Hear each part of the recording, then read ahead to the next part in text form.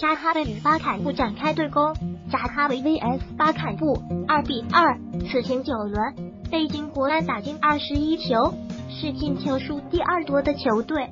广州富力则打进十九球，紧随其后。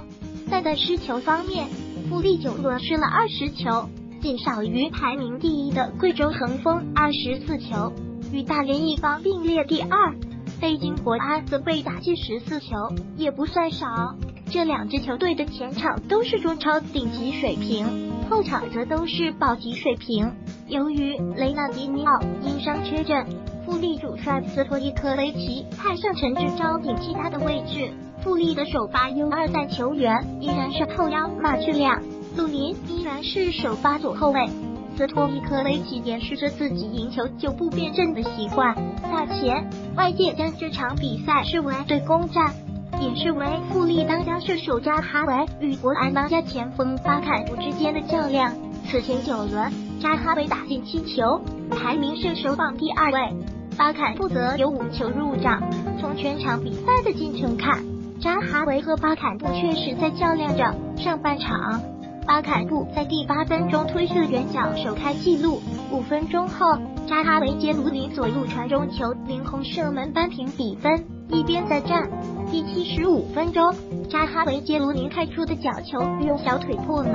第八十三分钟，巴坎布头锤破门，再度将比分扳平。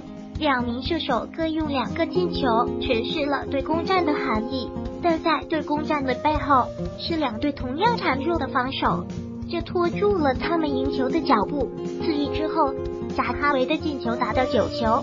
暂时只落后排在射手榜榜首的吴磊一球。富力将帅赛后都想登长城，门将程岳磊，右后卫唐淼，中卫李提香，中前场的陈志钊。广州富力不少首发球员都与国安有过或多或少的联系，其中大部分是失意者。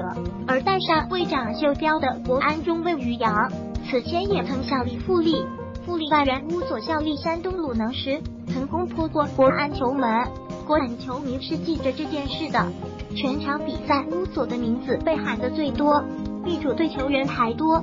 在这场互相伤害的比赛中，两队都没能笑到最后。客场作战的广州富力显然更满意这一结果。上赛季，广州富力同样是在客场被北京国安以二比二逼平。富力先是两分钟内连进两球，之后被逼平。那场比赛，斯托伊科维奇显得沮丧，而本赛季的造访北京之战，他有满意的理由。